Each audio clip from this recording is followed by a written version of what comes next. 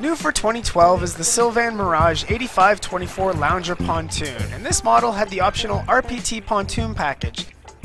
This model features a new floor plan arrangement that will be perfect for every type of entertaining with friends and family on the water. It's a good looking boat that performs as well as it looks. In the bow, you get facing chaise lounge style seats that are slightly curved so you can relax or fit a crowd. And this is the optional Sand Dollar LE furniture that adds class and elegance with distinct attention to detail. And you'll notice this throughout the boat. A side by side helm chair design is a popular request for cruising couples on weekday cruises. The layout to aft features two rear facing lounges that gives the Mirage its lounger name. It's a popular and versatile layout that maximizes comfort and space. And as you would expect, under all of the seat bases, you'll find hinge storage in the rotocast bases. This is a cool pontoon that will allow you to get the most out of it and surely will be the captain's delight.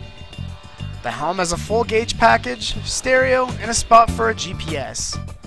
Toggle switches with breakers add simplicity and functionality. Not to mention, you still get tilt steering, cup holders, and a windscreen. However, the reclining captain's chair is the big highlight of this helm.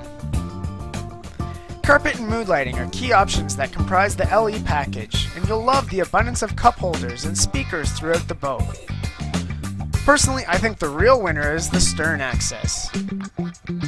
You get a full width swim platform, and the synthetic teak looks incredible, but is still very practical. Like I said off the top, this tune has Sylvan's revolutionary planing technology, or RPT pontoons, that get you up and out of the water with less drag. But this boat was also equipped with an aluminum underskid that deflects the water away from the cross members, creating less turbulence and higher speeds. The RPT pontoons run great at all speeds because their V design on the bottom slices through the water for a soft ride. There's less drag with these pontoons, so you're able to get more performance with less power and without a third log. 18, 22, and 25 miles per hour are more than achievable with this package. A trick with these pontoons is to trim way up. Keep going up until your gauge says you're at the top. This gets the pontoons right out of the water. With full trim up and wide open throttle, I got a top speed of 40 miles per hour at 5400 RPM. So like I said, the 8524 Mirage performs as well as it looks.